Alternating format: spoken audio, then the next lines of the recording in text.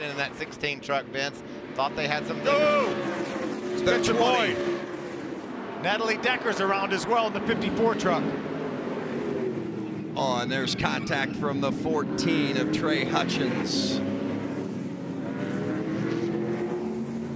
So three vehicles involved in this one. Looks like the radiator is gone in the 20 truck. Uh, did Boyd He maybe made some- get into the con a little contact there with the 54? Yeah, it looks like Natalie got into the inside wall there. There's Boyd spinning around from that contact. Slight contact with the outside wall, but Trey Hutchens has come, come along and do some pretty good damage to that right front corner.